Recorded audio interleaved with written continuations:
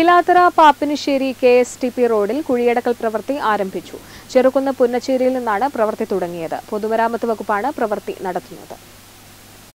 Pilathara Pappinisseri K S T P റോഡിൽ കുഴികൾ നിറഞ്ഞത് അപകടങ്ങൾക്ക് കാരണമായിരുന്നു. റോഡിൽ മിക്കയിടങ്ങളിലും ടാറിംഗ് ഇളകി വലിയ കുഴികളാണ് രൂപപ്പെട്ടത്. ജനങ്ങൾ പ്രതിഷേധവുമായി രംഗത്തെത്തിയതോടെയാണ് റോഡ് പ്രവൃത്തി ആരംഭിച്ചത്. പുന്നച്ചേരി ചെറുകുന്ന് വിഭാഗങ്ങളിലാണ് ആദ്യ ദിവസം ടാറിംഗ് നടത്തിയത്. പൊതുമരാമത്ത് വകുപ്പിന്റെ നേതൃത്വത്തിലാണ് പ്രവൃത്തി നടന്നുവരുന്നത്.